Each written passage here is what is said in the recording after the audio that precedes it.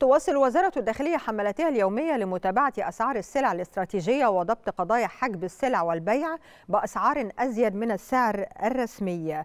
هذا وقد تم خلال 24 ساعة ضبط 309 قضايا تموينية بمضبوطات أكثر من 391 طن مواد غذائية.